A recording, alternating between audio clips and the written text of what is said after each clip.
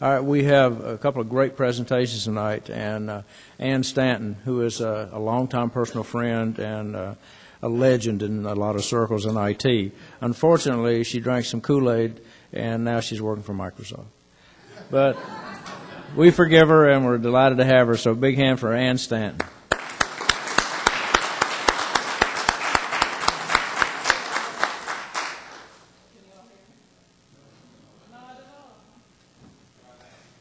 Can you hear me? Yeah? Oh, there it is. Great. So I, I'm kind of embarrassed to follow the people who uh, were, came before me because I'm just a geek, you know. Um, but I've been working in the software industry for about 25 years, and what I'm going to do tonight is I'm going to, I have basically set up a Microsoft Dynamics CRM online environment, basically a 30-day trial, named it Carolina IT Demo, and I'm going to log in, and I'm going to show you Dynamics CRM, which is Customer Relationship Management Software. And Dynamics CRM is used by many, many different kinds of organizations. It's used by traditional organizations that have sales teams that use it to track their prospects, their leads, their customers, and all the contacts associated with those. It's also used by service companies who want to keep track of tickets or cases and um, all the activity that happens around those cases. And tonight I'm going to focus a little bit more on the services module. Does anybody here work with CRM at all? We got two people over here. So if you have further follow-up questions, you got members in your group who know Dynamic CRM. I've been specializing in CRM since 2004, and um, I've been blogging on the sub- subject, and I've worked as a small business IT professional and a consultant on that product. I've worked running a Dynamics um, partnership focused on Dynamics CRM in Texas. And I've, for the last four years, I actually was at a large enterprise account working in their IT department. And yes, now I am with Microsoft. I work with Microsoft Consulting Services. So, and I have to admit, working with Microsoft has been. I mean, I've only been there three months, but just being surrounded by the technical people that I'm surrounded by right now is incredible. I mean, my team on my current project has been amazing. So. Um, I'm going to go up and I think I'm connected here, so we'll see what we got. And you guys don't mind, I guess, if I sit down here. It's just easier to sit down and type. So, what's amazing about Dynamic CRM Online is you don't have to. Put up on screen. Yep, I can do it. Hmm. Windows P. For those of you using Windows 8, it's one of your hotkeys. Um, what's amazing about CRM Online is that you actually can log into online website, Bing on it, Google on it, and get a free 30-day trial in about three clicks. And this is an environment, I have not touched this environment. I have literally just logged in, set up a free 30-day trial, it comes with sample data, and this is what you get out of the box, so just so people know. Um, the other thing you can do with Dynamic CRM is you can customize it through configuration or through C++ or .NET, and you can literally take this application and apply it to all sorts of custom programming um, needs. So on my left-hand side of my menu here, I've actually got accounts and contacts. Accounts are your companies, right? Contacts are people. I also have a workplace, which has generic items. I have my sales module, which is going to have things in it like leads and tracking opportunities. My marketing module, and marketing actually allows me to track all sorts of expenses for different events, allows me to take contacts and associate them to a marketing list that I want to do mailing to, and a variety of other marketing tasks. And then we have our services module. So out of the box, really, you get kind of three core modules. You get marketing, you get sales, and you get service. So I'm going to focus a little bit on service, because that's what I had said I was going to do. And then if you have other questions about anything in the system, just holler out, ask. I love an interactive presentation. So what do we mean by service? What we mean by service is literally the tracking of a case or a ticket or a service request or whatever you want to call it. In this particular system, out of the box, they call them cases. So if I was to create a new case, I basically can open a form, and this is my data entry screen for a new case. Now, all of these fields are canned, but I can turn any of them off, or I can add any field I want to the screen. So if there's something else that wants to be tracked, I can do that. Basically through configuration, not writing code, not going into SQL, not doing anything, no heavy lifting. So let's pretend we're, anybody have any example ticket they want to track? Any, go ahead, make my day. We're trying to, we're trying to use uh, SharePoint to, uh, we're trying to develop, and we're just getting started. Yep, And we're trying to use SharePoint 2003 to, uh, I work in the IT department to develop our IT help desk. okay. And, um, uh, we're, you know, going to upgrade to either 2010 or SharePoint 2013. Yep. So it's a, But this, this seems a lot easier. Right, so the difference between Dynamic CRM and SharePoint, number one, they're totally integrated, so you can use them together. Number two, SharePoint is totally designed from the ground up to deal with unstructured data. What I mean by that, it's really, really good at document libraries, tracking revisions of documents, organizing folders, but it's not really totally designed for structured data with relationships to other data. It's pretty good at kind of an Excel spreadsheet look and feel in SharePoint. Dynamic CRM is totally built for structured data, meaning that this case has a relationship to an account, right, or a customer. It also has a relationship to um, security and has all the security built in that you can customize. So the security in Dynamic CRM is much tighter, much more complex than it is in SharePoint.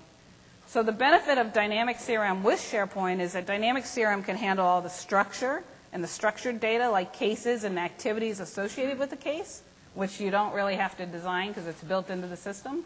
Whereas SharePoint really is more built for dealing with document management, knowledge bases and things. Yes. out on the user end where they can fill this out and be sent to our IT group.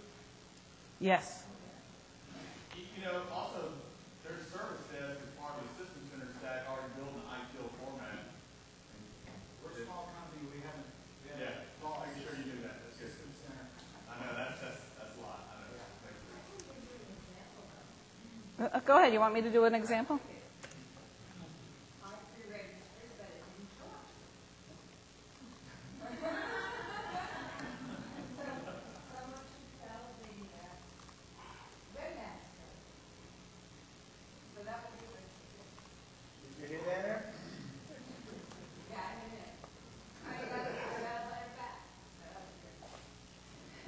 So I'm just going to pretend that your, your company's called Affordable Equipment because I didn't load all the Carolina IT Pro companies into the system. It came in via, I don't have an origin. So this is a problem rather than a question. And I'm going to put in a follow-up of, let's say, 12, 15. Let me pick that. Yep. Status reason in progress, normal priority. And literally, the system also has the ability to tie this case to a contract. I haven't set up any contracts. I'm not going to get into the advanced feature of tying to a contract. Save and close. I've now created a case in the system which I can actually see by sorting by case number, in this case, or by date. It's the first one here. So in Dynamic CRM, we have this thing called views. It looks kind of like Excel. And you can actually have all sorts of different kinds of views. You can create your own.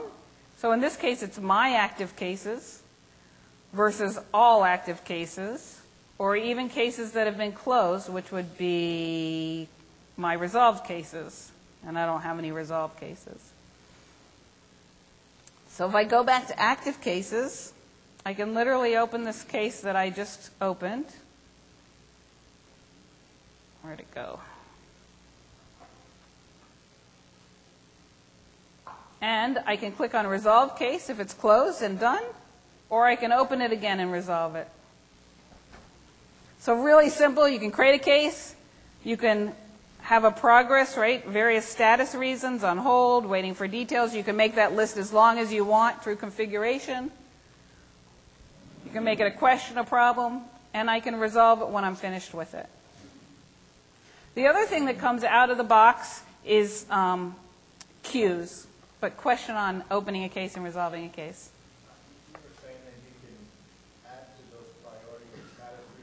You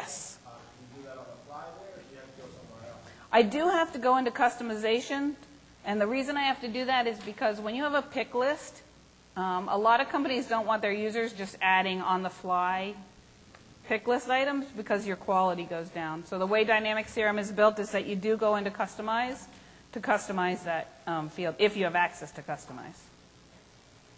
Now I'm logged in as a system admin, um, but you can see right here I can click on either customize the form, the data entry form, or I can customize the entity. So an entity from a SQL thought is basically a small subset of tables, or a table, almost. It's not quite one table, but an entity in terminology is a table. So if I customize the entity, and I'll just do this.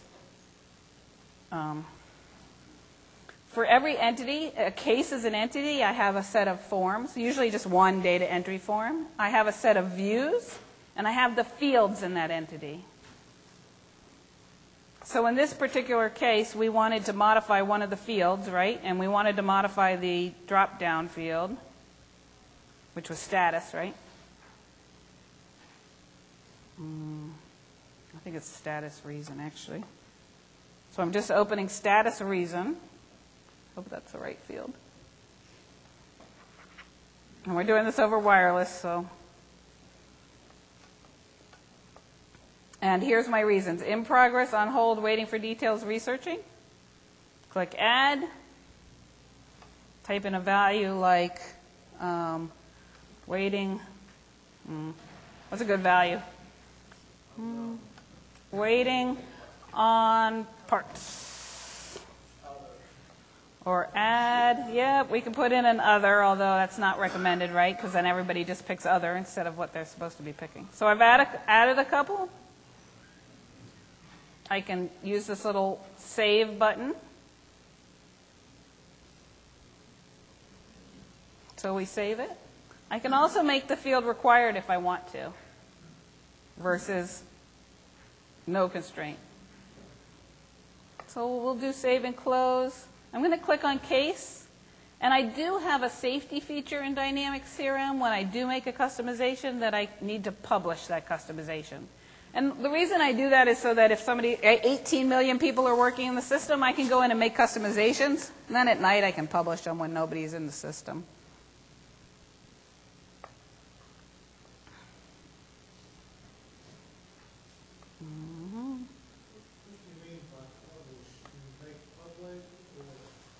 So publish is, so what I just did was a system administration task, a configuration task of Dynamic CRM. You might have one or two people in your company that would do that, maybe the application administrator, the CRM administrator. They can go in and make those changes live while other people are working in the system. They can do a whole set of changes, and then they can publish when they want to, when they're ready to release that to the user population. So the publish is just a little bit of a safety precaution um, to make that.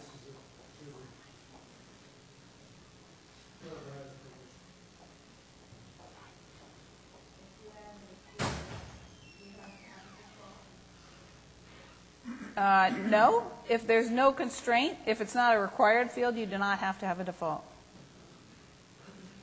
So you'll notice that I saved the record I was working on, and now my drop-down list has been updated.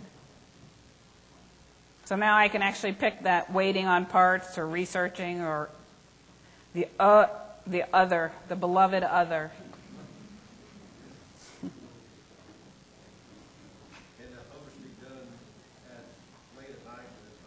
sure.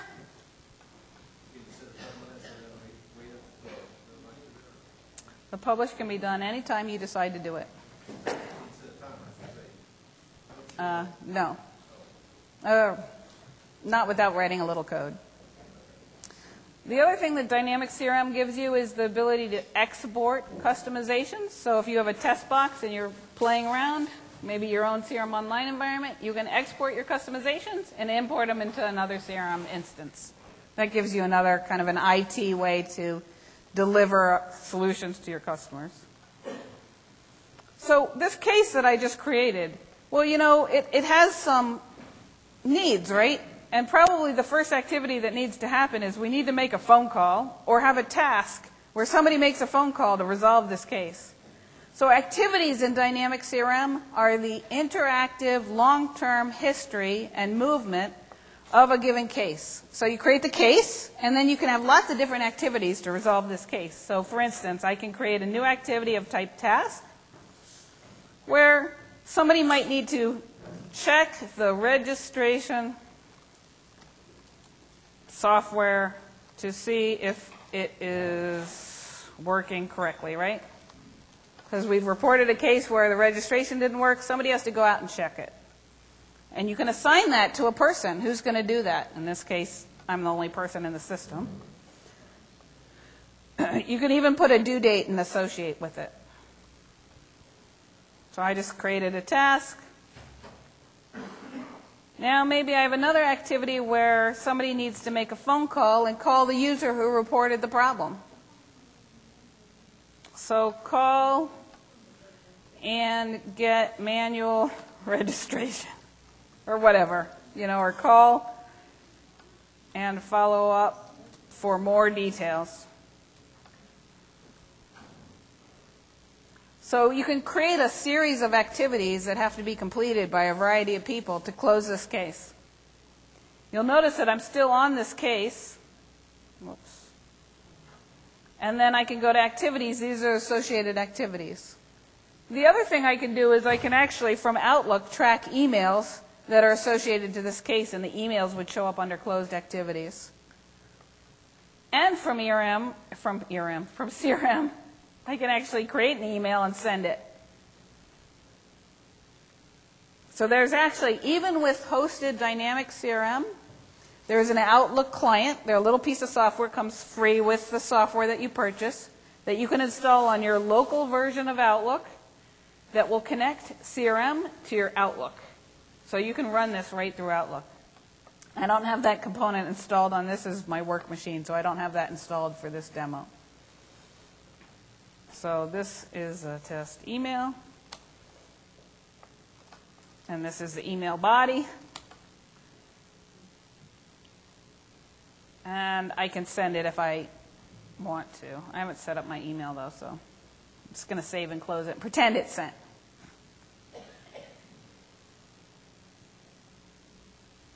So I now have this case in the system. It's not resolved, and I have all the activities associated with this case and all the tracking of those activities. I can additionally add notes, and if I add a note, I made a call and this is not a valid ticket case. Sorry.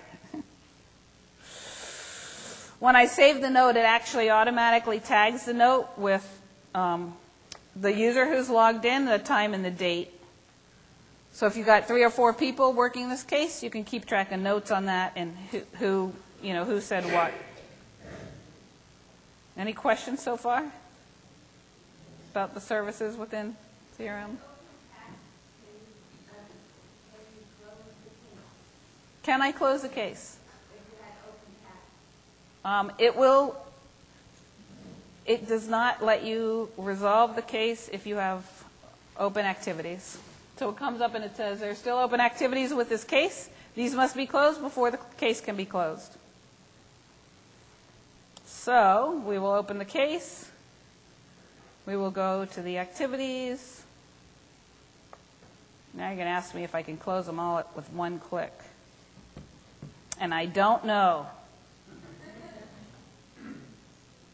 Um,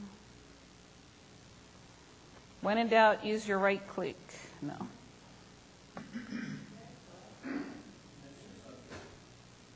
Hmm. Yeah, but I don't see a close, like a close activities. Um, If I select all of them, yeah, I think I have to close them one at a time. Under common, there's closed activities. Those are closed.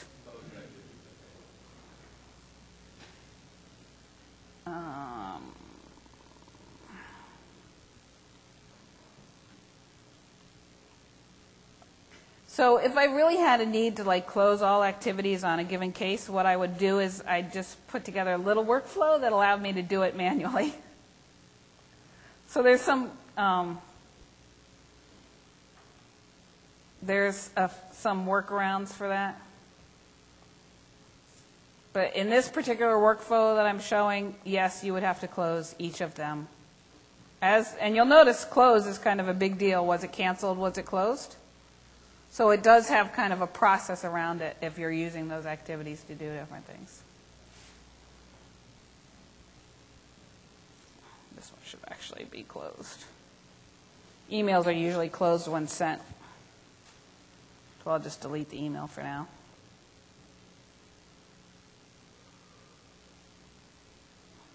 Today. Oops. Now I can resolve the case.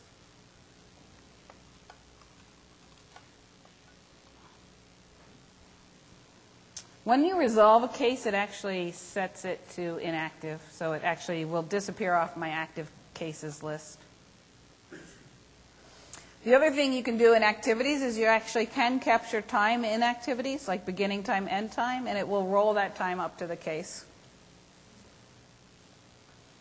Okay. Yes, so it, it, dynamic CRM is interesting when it comes to reporting because if you look at this view right here, any view that I'm looking at, I can actually export to Excel. And I can do export to Excel as a dynamic spreadsheet or a static spreadsheet. And what I mean by that is a dynamic spreadsheet, like a dynamic worksheet, if I exported to Excel as a dynamic worksheet and I emailed it to another CRM user, it would honor the security of the other CRM user. So the other CRM user might be a manager who has twice as many records. I would send it to him. When he opened it, it would auto-populate with his data. Maybe it's somebody who hates CRM, doesn't want to learn a new system, loves Excel, lives and dies by Excel. I can create the Excel spreadsheet for them. And when I send it to them, their data will populate.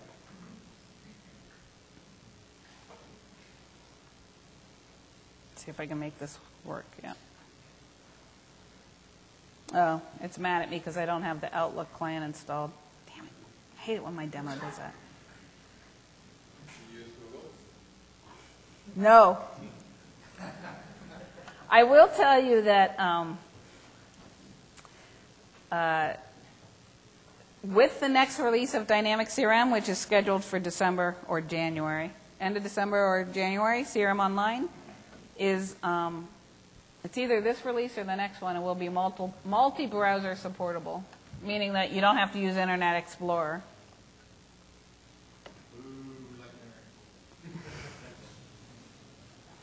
So this is um, basically the data that I was looking at dumped into Excel. The other thing that you can do from a reporting perspective is you have this button called Advanced Find. And for anybody who's um, familiar with queries, Advanced Find is the ability to query based on your own selection criteria and picking the columns that you want to see. So you can use Advanced Find on any view, whether it's accounts or contacts or cases. So it's defaulting basically status equals active. But I can also say edit call, I mean, um, yeah, edit properties, give it a different name, and active cases. I can edit columns and pick the columns that I want. So add columns, and it's going to give me a list of all the columns, for instance, case type, case origin, whatever I want to add, created by.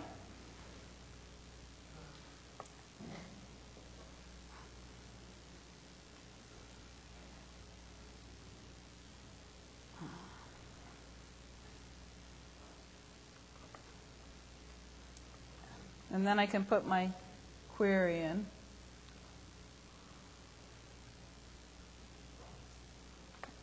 Maybe, details. Select. In this case, I'm going to pick owner equals Anne, or owner equals current user, and I'm going to click results. And I should just get that one case. I get all cases because I set up the demo. But you get the idea. The night. So advanced find allows you to pick different columns for your sort. It also allows you to pick um, different querying select criteria. And they can be ands or ors. So reporting, you can use advanced find. Question?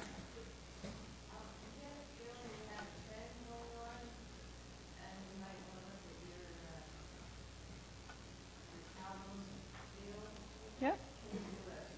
So the other thing that Dynamics CRM gives you is this concept of charts. So you'll notice a little arrow over here. So when you're thinking about trends, you can also click and create your own charts. So you can create your own views. You can also create your own charts. So we're going to go up here to the charts button at the top. We're going to click a new chart. And we can then select a field, for instance, case. Um,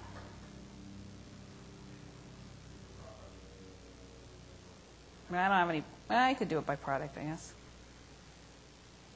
So the first thing it wants to do is count, and then it wants to count things. Let's try this one. So in this way, I actually have how many products per customer? I hate Excel pivot charting. Anybody want to help me out here? Let's do stats bar. Let's not pick customer.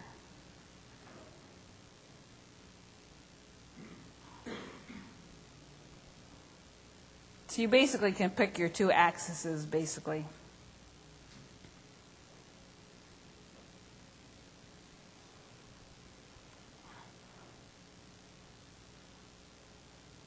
Product was a bad choice. You actually want a numbered field, like actual service units.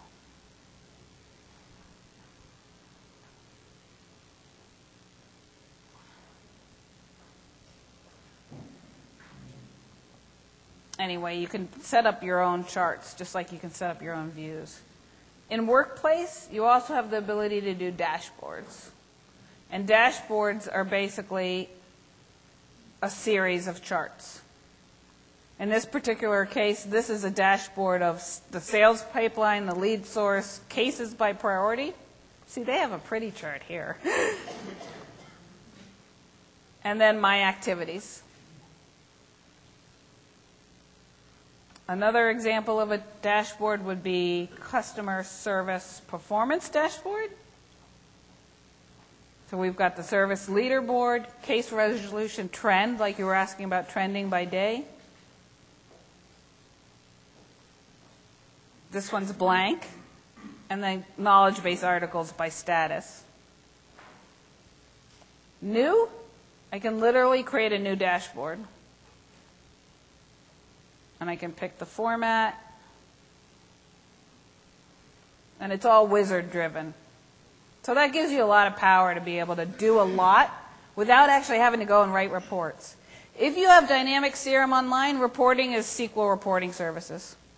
So any SQL-based report um, is basically what Dynamic CRM uses to write reports. If you've got some favorite charts, you can actually add them here in addition to having them be entity specific.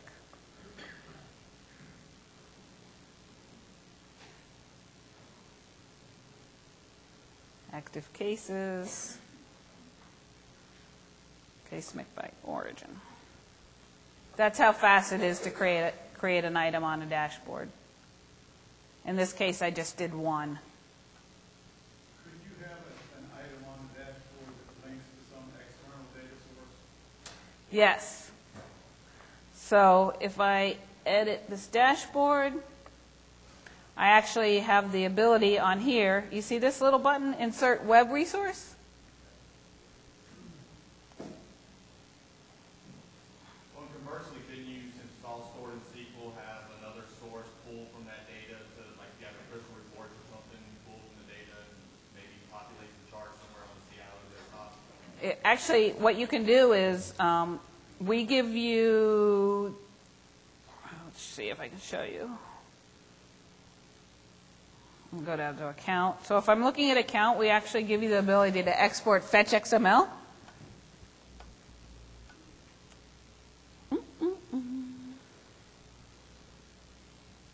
Now, where's the button?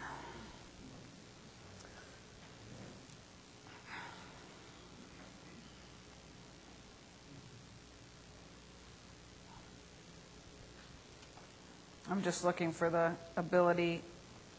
um, Most, so from a reporting perspective, we actually will give you the whole fetch XML dump that you can pull into other systems and work with. Or you can use Excel. I just can't find it.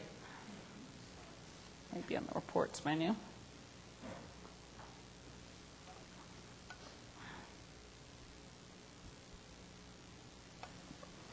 Sorry, I don't know where it went. I'll find it and let you know. Um, although it's SQL, if it's CRM Online, it is protected by security. So even on premise, it's protected by security. And what I mean by that is this system has a full blown security system built in. So I can only see data that I have the rights to see. And the way that CRM does that is it actually has a layer between SQL and the application called filtered views. So it pulls data out of SQL into a table of filtered data per user. And that way, even at the enterprise level, you can protect the access to data using security in CRM on the back end as well, because users only have access to their data in their filtered view. Settings is where the powerful engine lives. And in settings, if you go to administration and users, you actually have the ability to assign security roles or create security roles. And security roles can be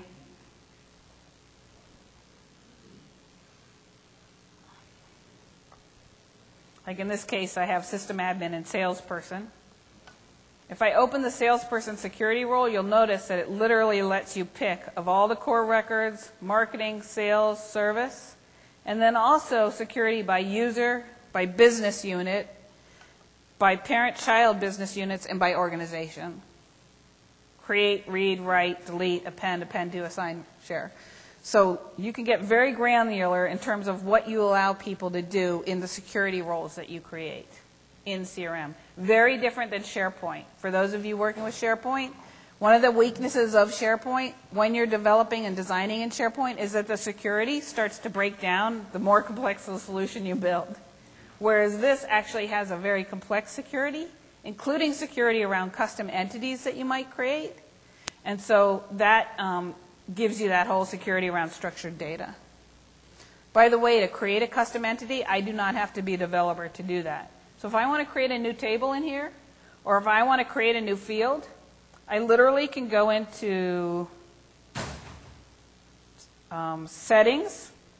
I can go down to customizations, and I can get to the actual fields like I was at before through Customize the System at um, some pretty scary levels, meaning there's a lot of power here. You can do some really big damage. Um, but it also allows you to do some very powerful things, like, for instance, if I didn't want it to be called account, I wanted it to be called member organization because you're members, and it, the member organization would be the organization that you worked for, or a member company. I can literally come in here and type member companies, Type in member company as the display name. Quick save. Oops. Oh, come on.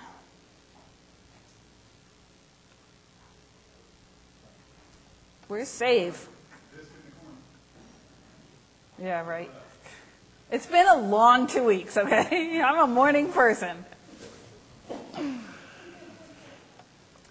Once I save that and I publish it, the system is going to populate that throughout the system automatically. So now instead of accounts, it's going to say member company across the board. Now, if I didn't want to use the word cases, I could do the same thing. In fact, the project I'm working on right now is taking Dynamic CRM, and we have configured it so that it meets the needs of a company that wants it to be called service requests, right, as opposed to cases. And it meets the need of collecting information on um, buildings that have problems. So, for instance, if somebody needed to report that a table was broken and a chair needed to be replaced or the plumbing was broken, we've now taken Dynamic CRM and made it a full-blown facilities management system. And we did that with, a we did do some customization and we did do some development. With a small development team, we made a um, facilities management system out of Dynamic CRM in two months. We're going live on December 21st. Um, and we just, I'm down here actually doing user acceptance testing. We just finished our user acceptance testing, so it's very exciting. Did I do publish already? I can't remember. Yeah, I probably did. Doesn't hurt to publish multiple times. All right, what else can I show you? Anybody else want to see something specific?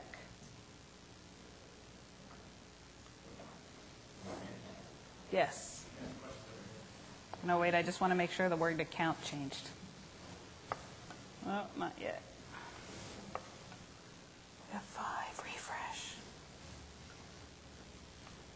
It'll refresh in a minute. Question? You know, talk about like like an old fashioned, uh, old fashioned mail merge, and say you had a, uh, you want to force the things, you have to program fields to some of your dynamic data that you're going to figure out cases that you want to set, but something from, from the case notes, put in a letter in Word. Mm-hmm. Would that, that have to be first export to Excel, or would that go automatically to merge, a Word, uh, merge If you have the Outlook client, you have you automatically have Word Mail Merge, and you just push the ma- Word Mail Merge button like the Excel button, and it opens the Word Mail Merge template, and you walk through and add the fields. So you don't have to export to Excel. It does require the Outlook client for some reason. Yep. You can also export to Excel and merge to Word. Another question? I've got a pet peeve on, uh, if somebody writes up a trouble ticket. Yeah. I live on the east side of the street, and there's a west side of the street with the same address. Yeah. And as you know, E and W are right next to each other on the keyboard. And it's very easy for me to get stuff from them. In fact, the other day, I had the furnace guy come over to my house, and I didn't call him. And in the past, I had my bank statements, you know, just quit coming to me, they were sent to the uh, other address.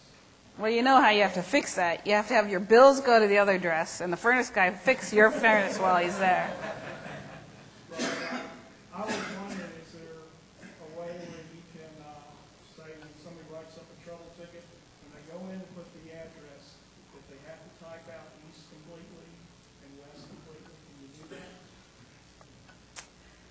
Um, Because I wrote a program Yep. a long time ago. The way that you would, you have two choices to do that. The one way that you could do that is you could actually have a field that's a drop down, right? East, west, that they have to pick either east or west. That complements the address. Fairly quick configuration, but a little not standard. The other way is you could add a little JavaScript. So CRM supports JavaScript on the form that on change, right, when you move from that field, the JavaScript changes the E to east or the W to west. Well, I'm, I'm not worried about, you know, like I said, it's so easy to hit an E or a Right, so you wanted them to pick east or pick west? Right. So, uh, I mean, just off the cuff, right? One of the ways I'd do it is I'd have an address field, so it was street address, and then another field that was required, that was a drop down, that your only choices were north, south, east, and west. And so they have to pick north, east, west, and make it a required field. I don't know, that doesn't totally solve the problem, but. Anybody else have any other ideas for that one? Go ahead. Does this interface with billing at all? I mean, Yep. So Dynamics CRM is not supposed to be an ERP system. It was never designed to be an ERP system. However, because from a sales perspective, it does handle order, orders, invoicing, and uh, qu- quotes, orders, and invoicing. Once you click invoice, there is a connector to Great Plains, and then there's lots of third-party solutions that also connect to many other accounting systems. Um, I think at this point, there might even be a QuickBooks connector, um, but I'm not sure. I haven't done that for a long time. Um, But yeah, in general, Dynamics CRM is not trying to be an accounting system. Um, On the enterprise level, probably the most popular one is, right now, is Dynamics AX. That market is just going crazy. Any other questions?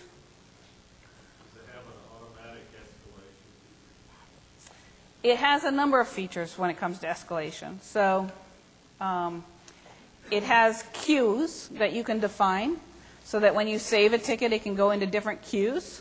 And those queues can have different escalation factors associated with them. You can also set it so it has a priority and that you do different things on different priorities. So for instance, the project I'm working on right now, when a P1 or a P2 ticket is created, the ticket is actually sent to a telephone queue with a partner, in this case, 8 by 8 um, but we also have IP on that at, at Microsoft. But so instead of the ticket like just sitting there in a queue waiting for somebody to deal with it or for a user to look at the queue, it actually sends the ticket to a special email address that pops up the pop-up window with a call queue from the telephone vendor. I don't know if that answers your question, but you probably would have to do a little bit more configuration when it comes to the call centers. Maybe even some um, custom software. So in our case, we actually have a little plug-in that goes into the system that looks at the priority. Is it a P1 or P2? If it's a P1 or P2, it goes to the call log. If it's not, it goes automatically through our integration la- layer to the tier one provider who services the case.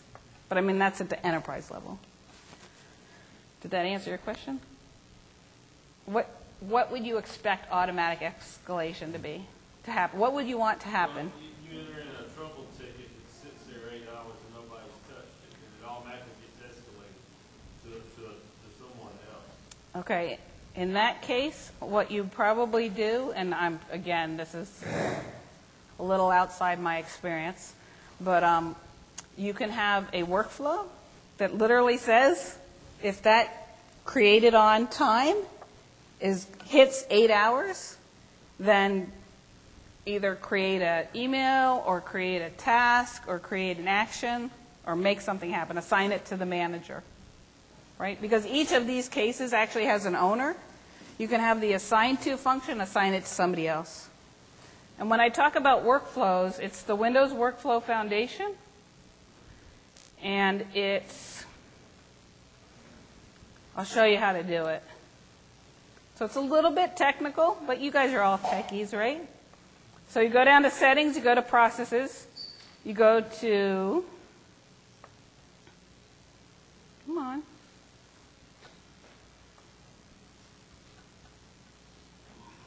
Create a process. Let's see, escalation, right? Escalation. On case,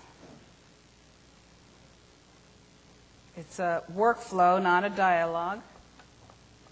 Okay?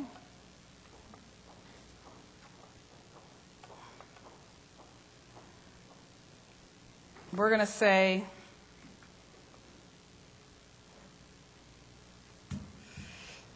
Hmm. So a workflow can only kick off. You guys are going to have to help me with this one. The workflow can only kick off when a record is created, when a status changes, when a record is assigned, or when a field changes. So let's do when record is created, add a step, right?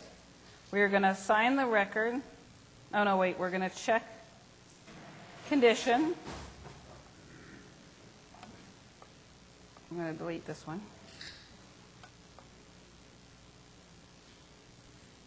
Right.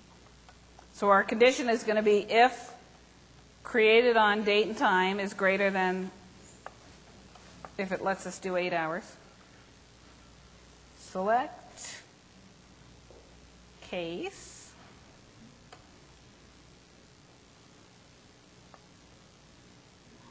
Why are you acting slow on me? Come on. Serves me right for using wireless. Ah! Crash and burn!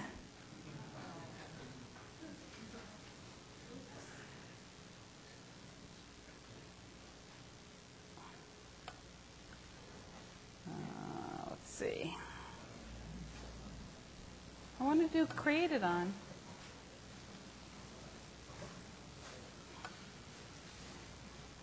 You can tell I haven't programmed for 20 years. Primary entity is case. Select. Created on is greater than, and we can't make it dynamic, right? Hour. Right? Dynamic value. After eight hours, created on. So I said if case created on is greater than eight hours. Right? Save and close. Then add step.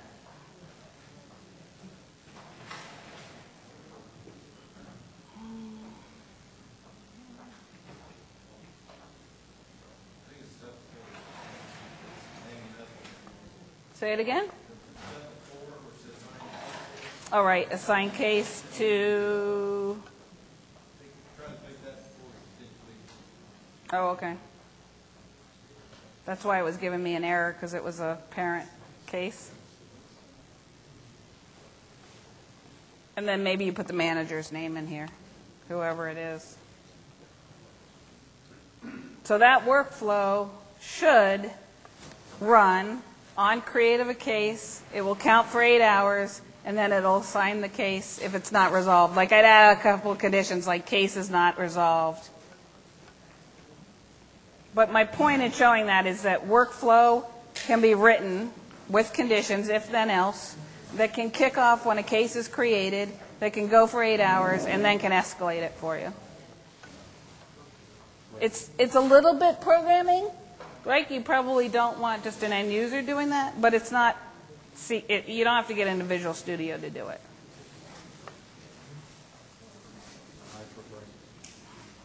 Right? Time for a break? Time for a break? Time for the next speaker? Answered all the good questions? All right.